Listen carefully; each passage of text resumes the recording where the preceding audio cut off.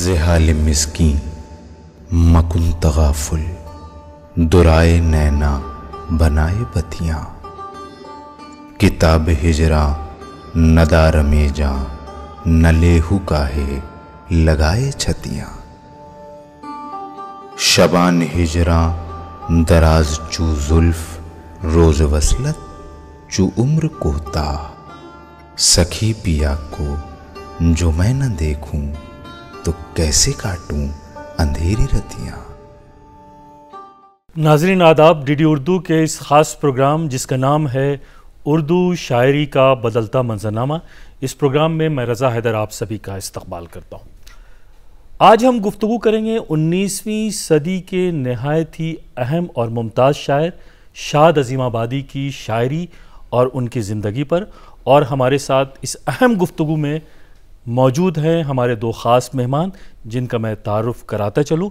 ہمارے پہلے مہمان ہیں پروفیسر محمد علی جوہر صاحب۔ آپ کا تعلق علی گڑھ مسلم یونیورسٹی کے شعبہ اردو سے ہے۔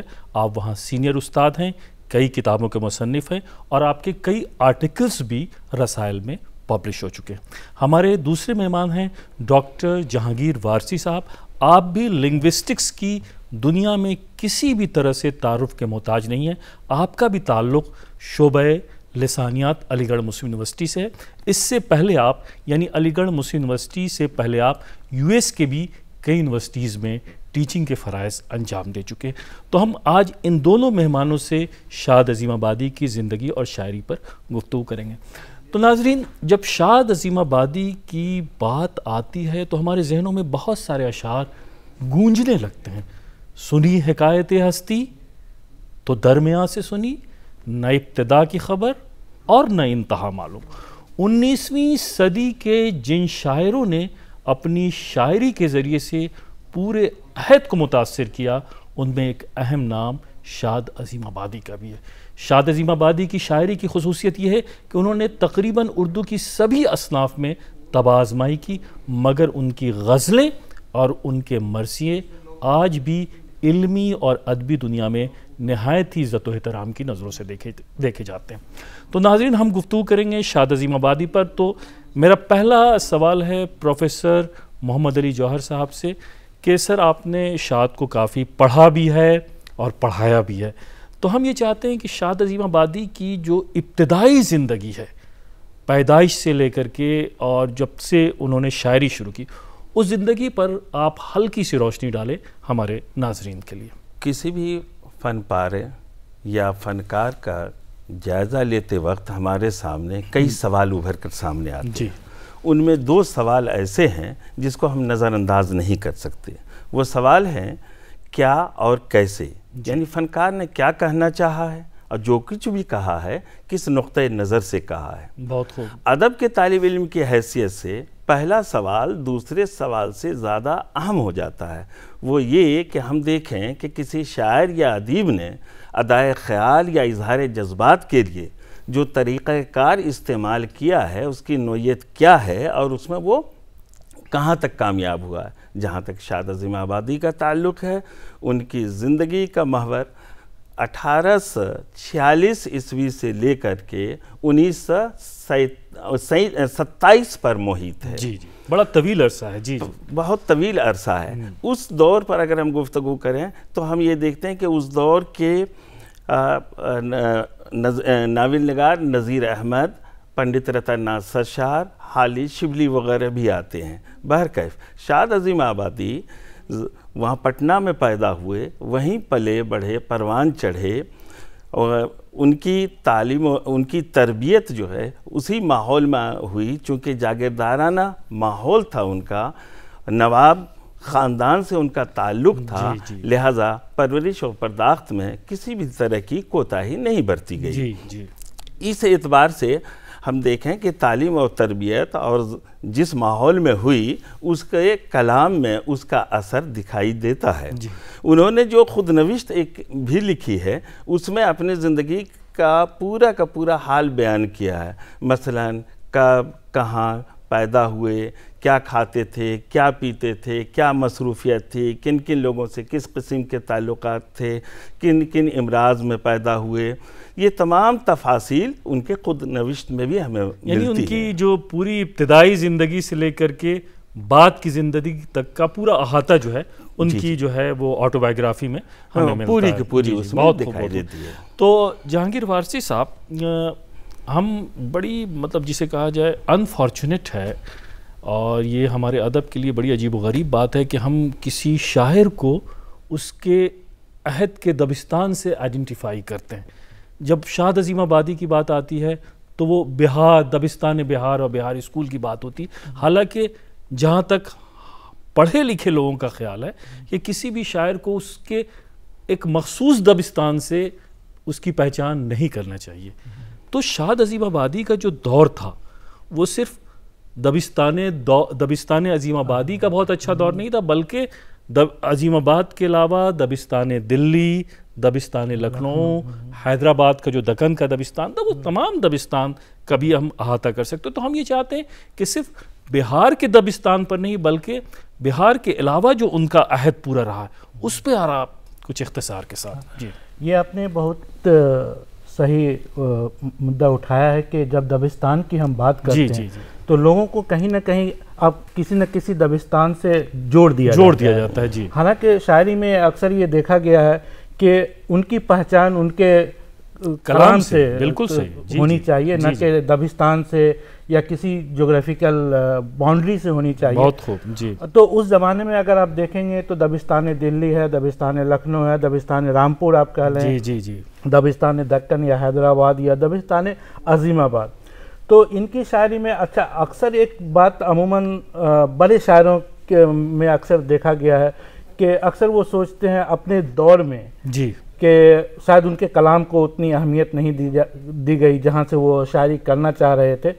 لیکن یہ ایک عام فہم بات ہے جو دوسرے دوسرے شاعر اکثر جیسے جی، جی۔ غالب بھی اپنے زمانے میں جی، یہ کہتے تھے کہ ان کے کلام کو وہ اہمیت نہیں ملی۔ لیکن جب کنٹمپرری ہم اصل لوگوں کو آپ دیکھیں گے اس حوالے سے کہ کون سے شاعر کون سے تخلیق کار کس تخلیق کے لیے مشہور ہوئے۔ تو اس میں اگر آپ دیکھیں گے تو امیر مینائی کے ہاں تصوف کا غلبہ رہا ہے۔ شبلی کے ہاں تاریخی شعور زیادہ ہے۔ بہت خوب۔ اسی طرح حسین آزاد اور حالی کے ہاں موضوعی شاعری اور ناسہانہ افکار کو جگہ ملی ہے۔ جی جی۔ اقبال نے قوم کو بیدار کیا۔ ان کی نظمیں بہت مشہور ہوئیں۔ بہت خوب۔ مگر شاد کی شاعری کو اگر آپ دیکھیں گے تو انہوں نے غزل پہ زیادہ توجہ جی، جی، غزل یا شاعری پہ زیادہ توجہ۔ نیا رنگ و آہنگ دینے کی کوشش کی۔ یہ وہ دور تھا جو میں خاص کر کے بتانا چاہتا ہوں کہ اس دور میں غزل کی کمزوریوں کی نشاندہی کی جاتی تھی۔ اس دور میں بھی انہوں نے اپنی ایک الگ پہچان بنائی غزل کے حوالے سے۔ بہت خوب۔ تو ہم غزل کے حوالے سے بھی اور ان کی جو اور اصناف رہی ہیں ان کے حوالے سے بھی ہم آپ سے گفتگو کریں گے۔ ڈاکٹر صاحب یہ بتائیں کہ اب ہم شاعری کے اوپر آتے ہیں۔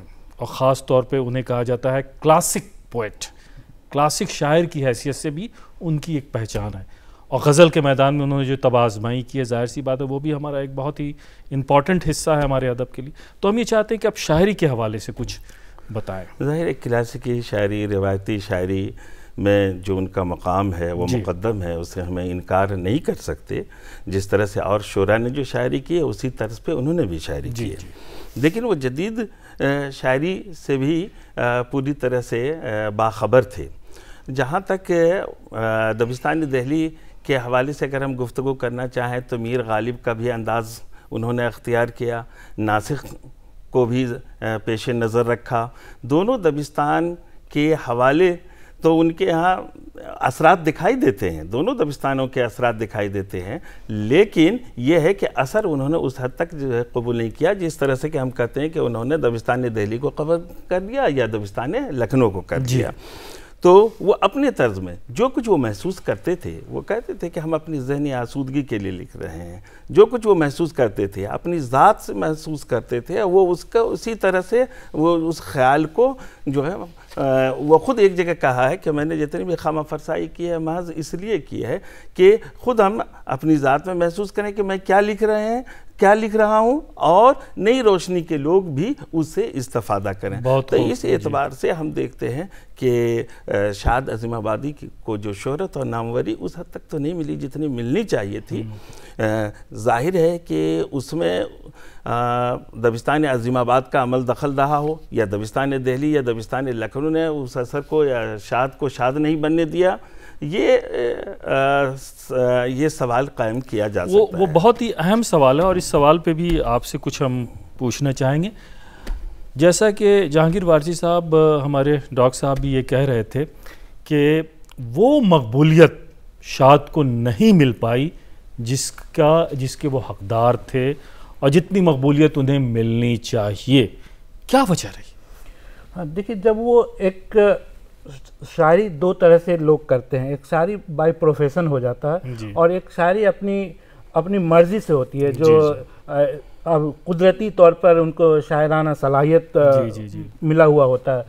تو جب شاد کی شاعری کو ہم دیکھتے ہیں تو انہوں نے کئی جگہ یہ ذکر کیا ہے۔ کیونکہ ایک خاندان میں ایسے خان خانوادے میں پیدا ہوئے تھے جہاں دولت کی کمی نہیں تھی۔ ہاں، علم و دولت ہاں، دونوں علم بھی اور ہاں، دولت بھی۔ جی بالکل کمی نہیں تھی اور دھیرے دھیرے جب وہ آگے بڑھے سلسلہ جب شاعری کا شروع کیا انہوں نے تو انہوں نے شاعری کو کبھی بھی ذریعہ معاش نہیں بنایا۔ اور کئی جگہ اپنے بیٹے کو یہ کہتے ہوئے دیکھے جا سکتے ہیں کہ انہوں نے اپنے بیٹے سے بھی کہا تھا کہ تم بھی شاعری کو کبھی ذریعہ معاش نہیں بنایا۔ جی۔ تو اس لیے وہ اس وقت کے شاعروں میں جو جدت پسندی تھی وہ اپنی شاعری جو کرتے تھے ان کا ایک منفرد انداز تھا۔ اور شاید یہی منفرد انداز شاید ان کے حیات میں لوگوں لوگوں تک نہیں پہنچ پائی یا ہم سمجھ نہیں سکے۔ جو آج ہم ان کی شاعری کی قدر کر رہے ہیں۔ جی۔ تو شاید یہی ایک وجہ رہی ہوگی جب وہ شاعری کر رہے ہوں گے جو ان کے سوچنے کا معیار رہا ہوگا۔ سماج میں جو سماجی اعتبار سے جب وہ حالات پہ نظر رکھ رہے ہوں گے جو چیزیں بیان کر رہے ہوں گے وہ اس وقت کے کے لوگوں کو سمجھنے میں تھوڑی تاخیر ہوئی۔ لیکن تاخیر دیر سے ہی صحیح آج ہم ان کے شاعری کو نصاب تک میں شامل کر چکے ہیں پڑھا رہے ہیں اور ان کی جی، جی۔ شاعر کی عظمت کو سمجھ رہے ہیں جی۔ اور ان کے حالات سے ہم استفادہ کر رہے ہیں سر یہ کیا یہ وجہ تو نہیں رہی کہ دلی دبستان اور لکھنؤ دبستان بلکہ یہ کہا جائے کہ وہ دور اور اس دور کی شاعری جو ہے وہ ہمارے سماج پر اتنی حاوی رہی کہ شاد کی شاعری دب کر کے رہ گئے۔ آپ بجا فرما رہے ہیں۔ جی۔ دراصل یہ دونوں کی آپسی جو ہے چشمک رہی۔ ایک ایک کے ہاں لفظی بازی گری صنعت گری لفاظی دوسرے کے ہاں داخلیت اس خارجیت ایک کے ہاں خارجیت ایک کے ہاں داخلیت۔ سادہ لوہی، یہ سلسلہ دونوں میں چلتا رہا۔ یہ کولڈ وار کہہ لیجیے، یا ایک مارکا چلتا رہا۔ اور اس سلسلے میں ظاہر ہے کہ دوسرا دبستان جسے آپ شاد رامپور دبستان بھی کہہ سکتے ہیں شاد عظیم آباد دبستان بھی کے نام سے آپ کہہ سکتے ہیں، وہ جو ہے پیچھے رہ گئی۔ شاد بہرحال، ان حال میں بھی اگر ہم حالت میں دیکھتے ہیں، تو ہم اس نتیجے پر پہنچتے ہیں کہ جہاں درد صوفیانہ شاعری کر رہے تھے اس کے اثرات بھی ان کے ہاں دکھائی دے رہے ہیں۔ تصوف کی شاعری دین مذہب ملت سے متعلق بھی انہوں نے شاعری کی ہے۔ بہت سارے جی، اشعار جی۔ ان کے ہاں آپ کو جی، دیکھیں گے۔ لیکن جذبات احساسات اور کا جو بیان انہوں نے الفاظ کے دروبست جو تراکیب استعمال کی جو صنعتیں انہوں نے استعمال کی ہے وہ برمحل استعمال کی ہے اور اس سے اس نتیجے پہ ہم پہنچتے ہیں کہ ان کے ہاں کہیں گرانی کا احساس نہیں ہوتا ہے۔ سادہ لوہی چونکہ مزاج میں تھی وہی اثرات ان کے دیوان میں وہی چیزیں ان کی تخلیق میں جو ہے ہمیں ان کی تحریر میں ہمیں دکھائی دیتی ہے جہانگیر بارسی صاحب آپ ایک لنگوسٹ بھی ہیں ماہر لسانیات بھی ہیں۔ اور ایک اچھی بات یہ ہے کہ آپ یہاں انڈیا میں تو پڑھا ہی رہے ہیں۔ اس سے پہلے آپ امریکہ میں بھی پڑھا رہے تھے، وہاں کی کئی یونیورسٹیز سے آپ کا تعلق رہا ہے۔ نائنٹین سینچری کی جو پوری امریکن پوئٹری ہے، اور اس زمانے میں شاد عظیم آبادی کی جو شاعری تھی، اس کا بھی شاید آپ نے کچھ کمپیریٹیو اسٹڈیز آپ نے تقابلی مطالعہ کسی مضمون میں کیا ہے۔ تو یہ بڑی یونیک سی چیز ہوگی اگر آپ اس پر کچھ اظہار خیال فرمائیں ہاں میں چاہتا تھا کہ آپ اس طرح جی، کے جی، سوال جی۔ کریں مجھے خوشی ہے آپ اس دور کی شاعری کو میں نے کچھ جو شاعر ہیں جن کو میں نے پڑھا ہے جیسے اس میں ایملی ڈکسنسن ہے یہ روبرٹ فروسٹ ہیں ولیم ولیم کارلوس ہیں یہ وہ لوگ ہیں جن کی شاعری کہیں نہ کہیں جب ہم کمپیئر کرتے اسی ہیں دور کے ہیں۔ اسی دور کے ہیں جی۔ تو اس دور کے شاعری کو کمپیئر کرتے ہیں تو ہم کو لگتا ہے کہ جیسے خاص کر کے ایملی ڈکسن کا جو ہے شاعر، شاعری کا انداز جو ہے، وہ بھی آئسولیشن میں لکھتے ہیں، وہ بھی حقیقت پسندی ہے، جس طرح شاد عظیم آبادی اکیلے پن میں رہے، ان کو کبھی شہرت کا اتنا شوق نہیں تھا۔ تو جو حقیقت پسندی کی شاعری ہے، جو امریکن نائنٹین سنچوری میں جو ولیم فروسٹ کے یہاں ملتا ہے یہ روبرٹ فروسٹ کے یہاں ملتا ہے ولیم مورس کے یہاں ملتا ہے ایملی ڈکنسنس کے یہاں ملتا ہے وہی چیز شاد عظیم آبادی میں بھی دیکھتے ہیں۔ تو یہ حالات ہم دیکھتے ہیں کہ حقیقت پسندی کی جو شاعری امریکہ میں امریکہ میں اس سمے رائ- رائج تھی وہی چیز وہی حالات وہی سماجی پہلو کو لے کر کے وہی فلاسفیکل باتیں جو ہے وہ یہاں بھی شاد عظیم آبادی کی شاعری میں بھی بہت بہت اچھا بہت ہی اچھا۔ نثر میں بھی ان کا بڑا کنٹریبیوشن ہے۔ نثر کے تعلق سے بھی کچھ اور لسانی تعلق سے بھی, بھی آپ سے کچھ سوال کریں گے۔ آ، انہوں نے ناولز پہ لکھے ہیں۔ صورت جی، الخیال صورت- بہت ہی مشہور جی، جی، معروف ناول الخیال تو۔ اس ناول کے بارے میں آپ کچھ ناظرین کو بتائیں۔ ہاں اصل میں صورت الخیال جو ناول ہے اس میں مسلم جاگیردارانہ ماحول کی عکاسی انہوں نے کی ہے۔ مسلم معاشرے سے متعلق انہوں نے لکھا۔ عام طور سے جاگیردارانہ ماحول کا سسٹم کیا ہوتا ہے نظام کیا ہوتا ہے؟ یعنی وہ طریقہ کار طریقہ کار کیا ہوتا ہے؟ اس کے آداب کیا ہوتے ہیں؟ اس کے نشست و برخاست کیا ہوتے ہیں؟ اور پھر اس کو زوال جی۔ اس کے زوال آمادہ تہذیب کو کس طرح سے ایک جاگیردار جاگیردارانہ نظام قائم ہوتا ہے؟ اور پھر بھی ایک صورت ایسی بھی آ جاتی ہے کہ ان کو جو ہے زوال کا منہ دیکھنا پڑتا ہے۔ تو ان صورتوں کا پورا کا پورا جو ہے ان کو انہوں نے پیش کیا ہے۔ لیکن صاف ستھری زبان ایسا لگتا ہے کہ اگر آپ پڑھیں تو ایسا لگتا ہے کہ ہو بہو واقعی یہ واقعہ جو ہے ہوا ہو چکا ہے۔ ناول ظاہر ہے کہ اسی کا نام ہے، زندگی کی حقیقت اور اس کے ترجمانی کرتا ہے، ہماری زندگی ترجمانی کرتا ہے۔ تو وہ تمام چیزیں جو ہے، صورت الخیال میں پائی جاتی ہے۔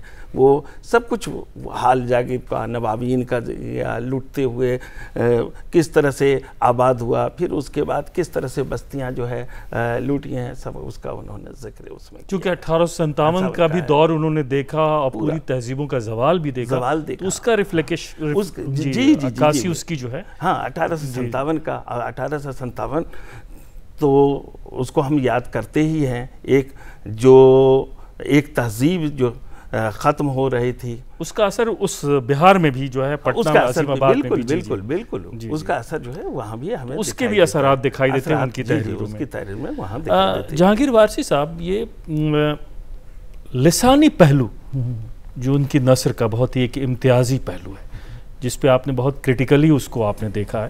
اس پر آپ کچھ۔ ہاں میں یہ جہاں تک ان کے شاعری کا لسانیاتی یا اسلوبیاتی مطالعہ کے حوالے سے اگر ہم دیکھیں تو اس پہ بہت کم کام ہوا ہے۔ ہم چاہیں گے کہ اس پہ لسانیاتی پہلو پہ یا اسلوبیاتی مطالعہ ان کے شاعری کا ہونا چاہیے کیونکہ بہت دیر ہو چکی ہے ان کو سمجھنے میں اور ان کو آج ان کے شاعری کو ہم اپنے سے ریلیٹ کرنے میں کیونکہ ان کے جو سب سے بڑا پہلو تھا جن کو ہم لسانی لسانیاتی مطالعہ کے طور پر لے سکتے تھے کہ ان کی زبان بہت سہل تھی۔ بالکل عام لوگوں کے دلوں میں اتر جانے والی بات تھی۔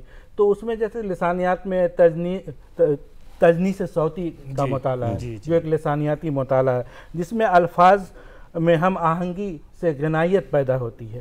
اور اس گنائیت سے شاعری میں نگمگی آتی ہے۔ بہت خوب۔ ان کا ایک شعر ہے کہ میں حیرت و حسرت کا مارا خاموش کھڑا ہوں ساحل پر دریائے محبت کہتا ہے آ کچھ بھی نہیں پایاب ہے بہت تو اس طرح کے ان کے یہاں اور بھی اگر کچھ اس طرح کے اشعار ہیں تو آپ اور جیسے تکرار کی مثالیں میں یہاں پہ کچھ دینا چاہتا ہوں کہ جیسے وہ کہتے ہیں کہ دیکھ لو اشک تو اشک تواتر کو نہ پوچھو میرا حال۔ دیکھ لو اشک تواتر کو نہ پوچھو میرا حال۔ چپ رہو چپ رہو اس بزم میں غماز آیا۔ یا پھر یہ دیکھیں پچھلے پہر اٹھ اٹھ کر کے نمازیں ناک رگرنی سجدوں پہ سجدے جو نہیں جائز اس کی دعائیں افری جوانی ہائے جی جی۔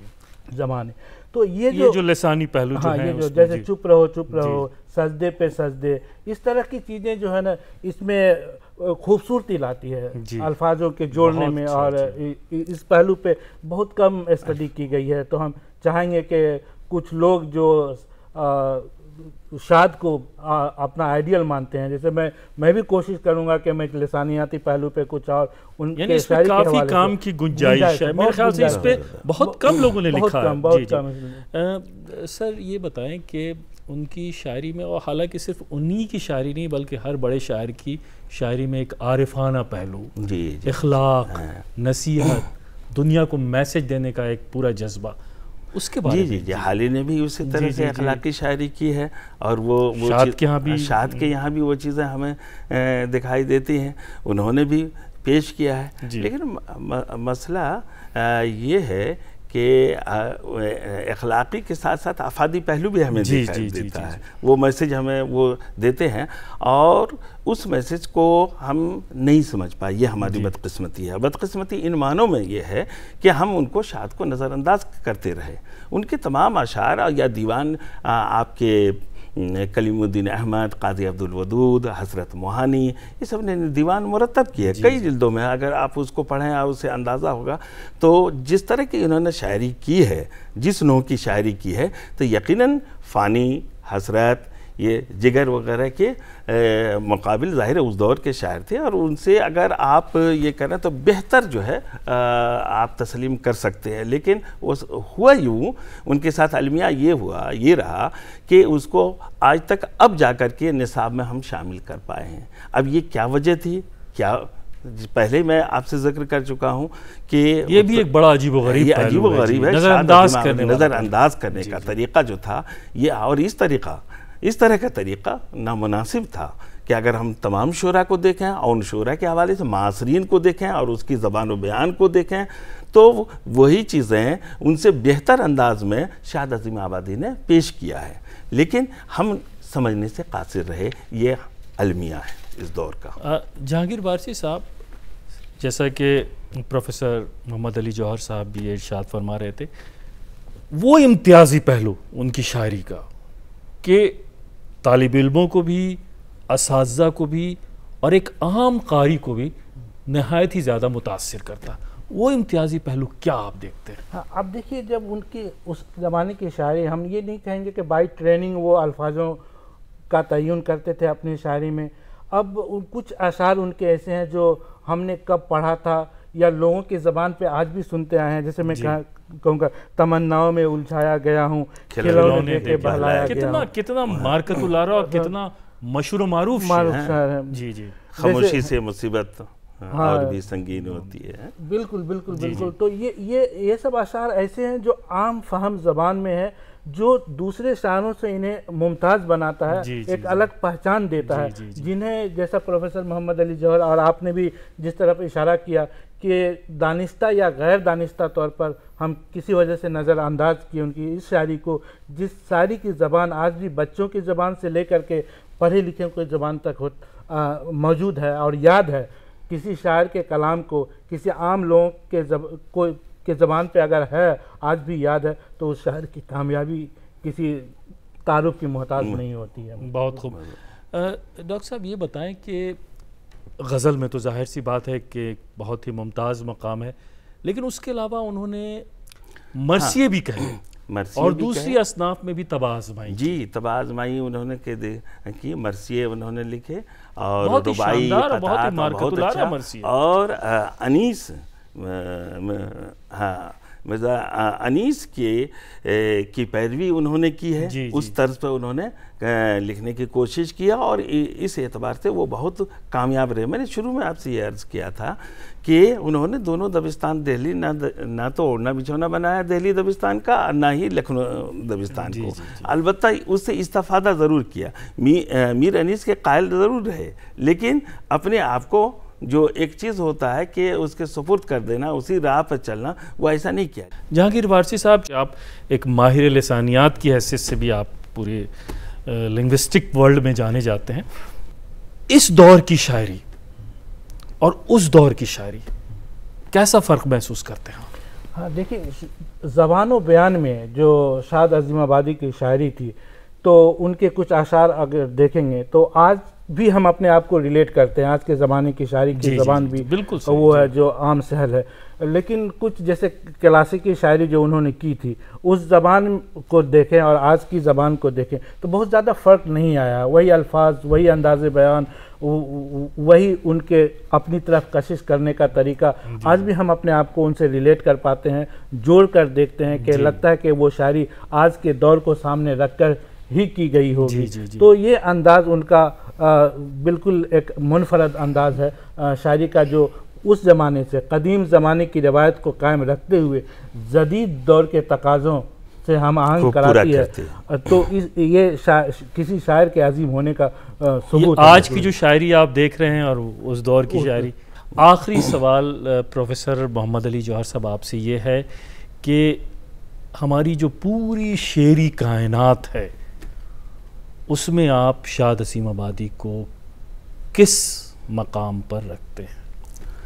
بہت ہی اختصار کے ساتھ۔ میرا خیال یہ ہے کہ شاد عظیم آبادی بڑا اہم سوال ہے یہ جی، کا۔ جی جی شاد عظیم آبادی ان معتبر جس طرح سے کہ ہر دور میں میر میر ہو غالب ہو مومن ہو ذوق ہو ہر زمانہ زمانہ رہا ہر زمانے میں ہر شاعر اہمیت رکھتے ہیں۔ ہر اس اعتبار سے شاد کا جو دور ہے اس دور میں شاد عظیم آبادی کو اگر آپ ان کے معاصرین میں میرا خیال یہ ہے کہ سر فہرست ہونا چاہیے۔ بہت بہت بہت شکریہ پروفیسر محمد علی جوہر صاحب ڈاکٹر جہانگیر وارسی صاحب۔ شاد عظیم آبادی کی زندگی اور ان کے لسانی پہلو پہ بھی جو ان کا ان کی تخلیق کا جو لسانی پہلو اس پر بھی جو کہ بہت کم جس پر گفتگو تھی تمام باتوں پر بہت ہی خوبصورتی کے ساتھ آپ نے احاطہ کیا۔